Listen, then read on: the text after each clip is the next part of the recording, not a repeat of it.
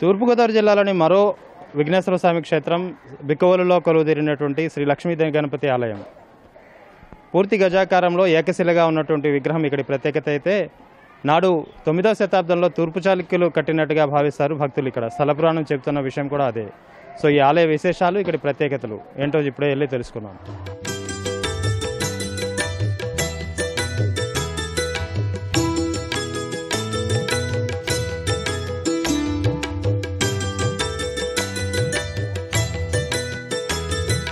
బిక్కవోలు ఆధ్యాత్మిక క్షేత్రం.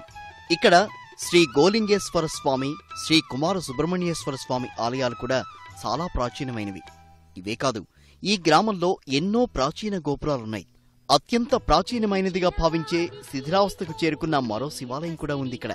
ఇక గణపతి ఆలయ విషయానికొస్తే ఇక్కడ కొలువుదీరిన శ్రీ లక్ష్మీ గణపతి ఆలయం కూడా చాలా ప్రాశస్త్యమైంది. ప్రాచీనమైంది కూడా. అంతకుమించి ఇది కూడా స్వయంభూగా పురాణాలు చెబుతున్నాయి. చెవిలో చెబితే చాలంటారు ఈ స్వామి. తలచిన తలపులో జీవమే తానుగా. తలచిన తలపులో జీవమే తానుగా. పిలచిన పిలుపుకే గణపతి. పూర్తి గజ రూపంలో ఏకశిలాధారిగా ఇక్కడ దర్శనమిస్తారు స్వామివారు. చెవిలో చెబితే తప్పక వింటాడు స్వామి. అందుకే ఈ స్వామికి చెవులు కూడా చాలా పెద్దవిగా ఉంటాయంటారు పండితులు. ప్రతి ఆలయంలోనూ విగ్రహం అతి దగ్గర వరకు అంటే గర్భగుడిలోకి భక్తుల్ని అనుమతించరు. మరి ఈ స్వామి చెవిలో చెబితే తప్పక వింటాడని ప్రతీతి కాబట్టి విగ్రహం దగ్గర వరకు భక్తులకు అనుమతి ఉంటుంది. మరోవైపు ప్రతి వినాయకుడికి తొండం ఎడంవైపుకు తిరుగుంటే ఇక్కడ మాత్రం కుడివైపునకు తిరుగుంటుంది ఆలయం చూడడానికి చాలా చిన్నగా ఉన్న విశిష్టత మాత్రం ఎక్కువే.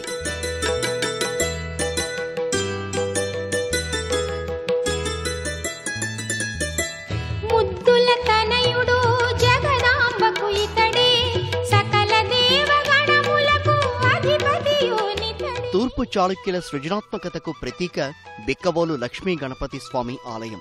ఇక్కడ ఏకశిలా విగ్రహంగా రూపుదిద్దుకున్న గణపతి భక్తుల్ని తన్మయత్వానికి గురిచేస్తారు భక్తులు అలా నేరుగా గణపతి చెవిలోనే కోరికలు చెప్పుకోవడం వెనుక విశిష్టమైన కథ ప్రాచుర్యంలో ఉంది. నాలుగు దశాబ్దాల క్రితం ఇక్కడి వినాయకుడు ఓ షావుకారి కల్లోకొచ్చి కోరికలైనా కష్టాలైనా నా చెవిలో చెప్పు తప్పక తీరుస్తాను అని సెలవిచ్చారుట. ఆ ప్రకారం షావుకారు మరుసటి రోజు స్వామి చెవిలో తన కోరిక చెప్పుకున్నాడని అతడి సంకల్పం నెరవేరిందని చెబుతారు. అప్పటినుంచి ఈ సంప్రదాయాన్ని భక్తులు కొనసాగిస్తున్నారు.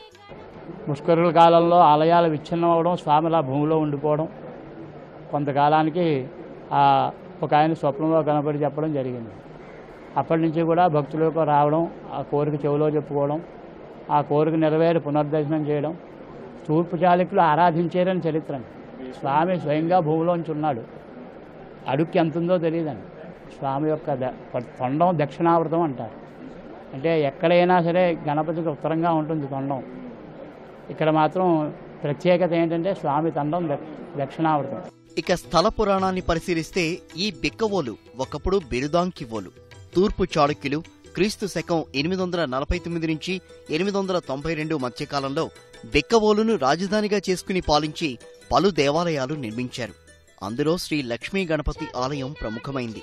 పొలాల్లో స్వయంభూగా వెలిసిన ఆ గణపతిని అనువైన ప్రదేశానికి తీసుకొచ్చి తూర్పు చాళుక్యులు ఈ ఆలయం నిర్మించారు.